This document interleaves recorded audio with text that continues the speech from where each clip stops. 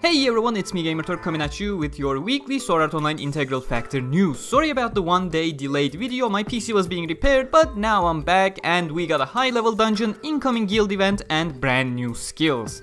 First, let's start with the high level dungeon. Visit Nishida-san in the game as the high level dungeon with additional rewards has been added to the fishing event. If you're low leveled, Try to reach at least level 80 before attempting this for your sake and of course for the sake of others. Next up is the guild event news. Next week the actual event will start, but the ticket collection dungeon is open this week, so go in there and prepare with your guildmates to collect entry tickets. Guild event will feature a lot of great rewards. Moving on to the new skills, Guidepost to the Future Part 2 is currently live featuring Asuna and Yuuki. If you want one of the two, pull this banner before the 27th, at which point Part 3 will go live featuring all 4 characters in the order instead with Kirito and Leafa coming back. And last but not least, Shigemura Yuna's birthday is approaching and a birthday order has been data mined featuring two new Yuna skills, one with a gorgeous full picture art. This order will surely go live on late Monday 29th, so save your Arcana gems if you want more Yuna. Remember to follow me for more news on Integral Factor and on SAO in general.